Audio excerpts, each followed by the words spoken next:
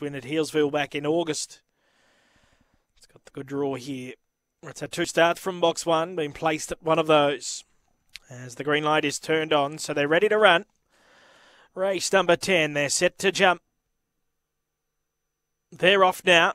Tinkerbelly slow down on the inside and fast out, no photos. And it'll lead into the back from Dust Up, moving up second. Don's Trouble third and Tinkerbelly fourth, getting up on the rail.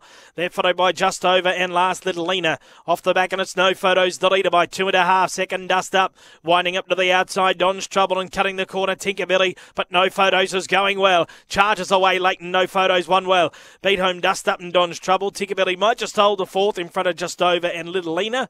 The time here around 23.60. No photos, number four, Wade Green. Steps fast, straight to the lead. Keeps running and wins it well. Does number four, no photos. Number four wins, no photos.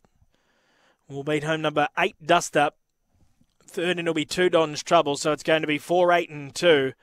And we await the fourth, maybe the favourite, just to hold on, Tinkerbelly.